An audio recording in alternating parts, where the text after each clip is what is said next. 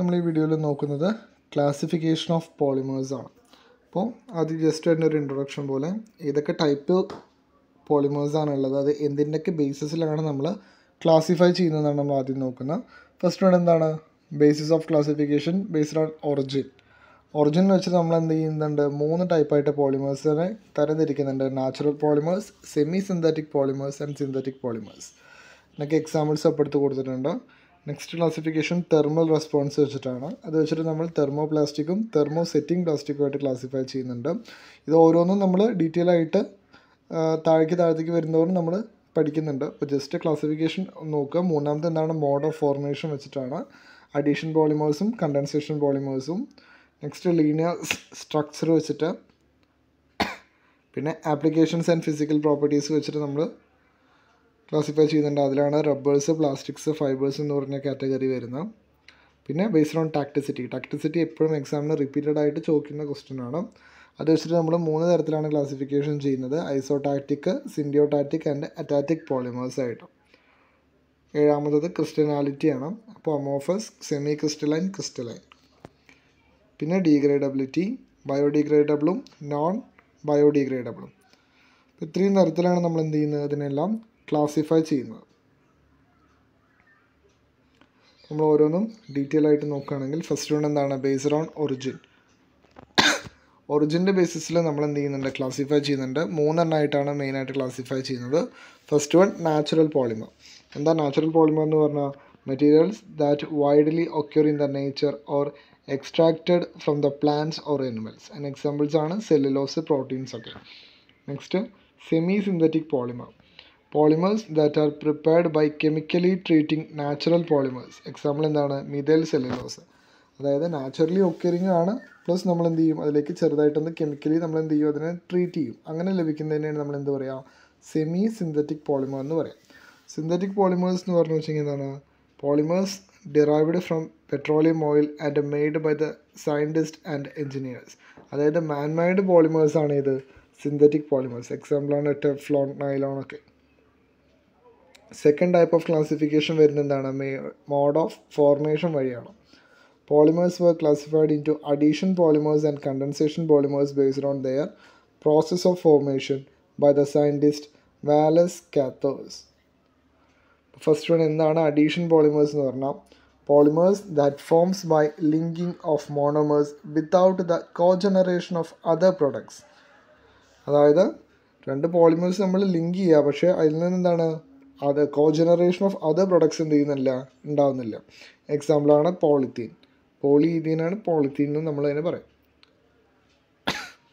അടുത്തത് condensation polymer polymers formed from intermolecular reactions between molecules with elimination of small molecules like H two O or C O two അതായത് condensation വഴി poly condensation ചെയ്യുമ്പോൾ എന്ത് ചെയ്യും? അതിന് water molecules അവിടുന്ന് eliminate ആയി പോകും. അങ്ങനെ ഫോം ചെയ്യുന്ന പോളിമേഴ്സ് അതിന് എക്സാമ്പിളാണ് nylon six nylon six six terylene എല്ലാം. ഇതിന്റെ എല്ലാം പ്രിപ്പറേഷൻ നമുക്ക് സെപ്പറേറ്റ് പഠിക്കാനുണ്ട്. Nylon six nylon six six terylene ഇത് വെറും മൊഡ്യൂൾസിലാണ് വരുന്നത്. Based on line structure based on line സ്ട്രക്ചറിൽ അതിനെ മൂന്നായിട്ടാണ് ക്ലാസിഫൈ ചെയ്തിട്ടുള്ളത്. ഫസ്റ്റ് വൺ എന്താണ്? Linear polymers linear polymers are formed either by addition of polymerization or by condensation polymerization represented by lines of finite length. നമുക്ക് അറിയുന്ന ലെങ്ത്തിൽ എന്താണ് നമ്മൾ അഡീഷൻ പോളിമറൈസേഷൻ വഴിയോ അല്ലെങ്കിൽ കണ്ടൻസേഷൻ പോളിമറൈസേഷനോ വഴി ഉണ്ടായ പോളിമേഴ്സിനെ അറേഞ്ച് ചെയ്യുക. ലൈൻ ഒരു ലീനിയർ ആയിട്ട് അറേഞ്ച് ചെയ്യുകയാണെങ്കിൽ അതാണ് ലീനിയർ പോളിമേഴ്സ് എന്ന് പറയുന്നത്.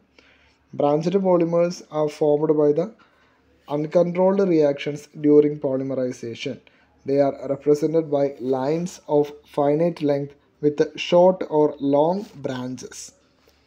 മൂന്നാമത് വരുന്നത് cross linked or network polymers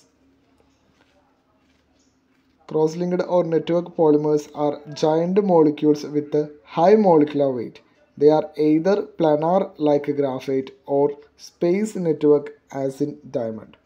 അപ്പോൾ മൂന്നെണ്ണത്തിന്റെ ചിത്രം നമ്മൾ ഏകദേശം ഇങ്ങനെയാണ് വരച്ചിട്ടുണ്ടാവുക ലീനിയർ പോളിമർ ആണെങ്കിൽ ഒരു സ്ട്രെയിറ്റ് ലൈനിൽ നമ്മൾ അറേഞ്ച് ചെയ്ത് പോകുന്ന പോലെ. ബ്രാഞ്ചിനാണെങ്കിലും ഫൈനൈറ്റ് ലെങ്ത് ആണ് ഉണ്ടാവുക. പക്ഷേ അതിൽ എന്ത് വരും? ചെറിയ സബ് ബ്രാഞ്ചസുകൾ വരും. ക്രോസ് ലിങ്ക്ഡ് എന്ന് പറഞ്ഞപ്പോൾ ഈ ലീനിയറും ബ്രാഞ്ചറും എല്ലാം കൂടി മിക്സ് ആയി പോലത്തെ ടൈപ്പാണ് എന്ത്? ക്രോസ് ലിങ്ക്ഡ് പോളിമേഴ്സിൽ വരുന്നത്. നെക്സ്റ്റ് എന്തായിരുന്നു? Based on applications and physical property അതിൽ വരുന്നതാണ് first one rubber rubber are elastic hydrocarbon chain they can undergo high elongation on application of low stress examples ചെയ്താണ് നാച്ചുറൽ അതേപോലെ സിന്തറ്റിക് റബ്ബേഴ്സ് ഉണ്ട് plastics plastics are stronger than rubbers have lesser tensile strength example polythene polypropylene fibres fibres are stronger than rubber and plastic have high mechanical strength as they possess strong intermolecular forces like hydrogen bond and dipole dipole interactions. ഇപ്പോൾ plastic rubber വെച്ച് നോക്കുന്ന സമയത്ത് fibres ആണ് എന്താണ്? More tensile strength ഉള്ള ആൾക്കാരാണ്. കാരണം intermolecular hydrogen bonding പോലുള്ള അറേഞ്ച്മെന്റ് ആണ് ഏതിലുണ്ടാവുക ഫൈബേഴ്സിൽ ഉണ്ടാവുക. അതുപോലെ ഡൈപോൾ ഡൈപോൾ ഇൻട്രാക്ഷൻസ് അതിന് കാരണമാണ്. Next classification based on crystallinity ആണ്. The crystalline character of polymer depends upon the chemical nature molecular symmetry and structural regularity or irregularity അപ്പോൾ അതിനെ ബേസ് ചെയ്തിട്ട് പിന്നെയും ക്ലാസിഫിക്കേഷൻ വരുന്നത് എങ്ങനെയാണ്? അമോഫസ് പോളിമേഴ്സ് ക്രിസ്റ്റലൈൻ പോളിമേഴ്സ് അപ്പോൾ അമോഫസ് പോളിമേഴ്സ് എന്ന് പറഞ്ഞ എന്താണ്? Polymers that do not exhibit any crystalline structures in X-ray or electron scattering experiments അതിന് എക്സാമ്പിൾ പോളിസ്റ്റൈറിൻ നാച്ചുറൽ റബ്ബർ എല്ലാം. Crystalline polymers showing more than sixty percentage of crystallinity are said to be crystalline polymers ഇനി based on thermal behaviour ഇതെപ്പോഴും എക്സാമിന് ചോദിക്കുന്നതാണ് തെർമോപ്ലാസ്റ്റിക്കും thermosetting പ്ലാസ്റ്റിക്കും ഇപ്പോൾ thermoplastic എന്ന് പറഞ്ഞാൽ എന്താണ്? Plastics that can be recovered and refabricated by applying suitable pressure and heat without much change in the properties example polystyrene polythene അതെല്ലാം. ഈ തെർമോ സെറ്റിംഗ് പ്ലാസ്റ്റിക് എന്ന് പറഞ്ഞാൽ എന്താണ്? Polymers that cannot be thermally processed and resist heat softening mechanical deformation and solvent attack എക്സാമ്പിളാണ് epoxy അതേപോലെ phenol formaldehyde റെസിനൊക്കെ അപ്പോൾ അതിന് മെയിനായിട്ടുള്ള ഡിഫറൻസ് പറഞ്ഞാൽ തെർമോപ്ലാസ്റ്റിക്സിനെ നമുക്ക് റീസൈക്കിൾ ചെയ്യാനായിട്ട് പറ്റും. എന്നാൽ തെർമോ സെറ്റിംഗ് പ്ലാസ്റ്റിക്കിനെ നമുക്ക് എന്ത് ചെയ്യാൻ പറ്റില്ല? റീസൈക്കിൾ ചെയ്യാനായിട്ട് പറ്റില്ല. വൺസ് അത് തെർമലി ഹീറ്റ് ചെയ്ത് സെറ്റാക്കി കഴിഞ്ഞാൽ പിന്നെ എന്ത് ചെയ്യുന്നില്ല? അതിൽ നിന്ന് വേറൊരു ഫോമിലേക്ക് ഹീറ്റ് ചെയ്തിട്ട് അതിനെ നമുക്ക് മോൾഡ് ചെയ്തെടുക്കാൻ പറ്റില്ല. Next, based on degradability. Based on degradability by microorganisms, polymers can be classified into non-biodegradable and biodegradable. Most of the synthetic polymers are non-biodegradable and raises environmental problems. Naturally occurring polymers are biodegradable.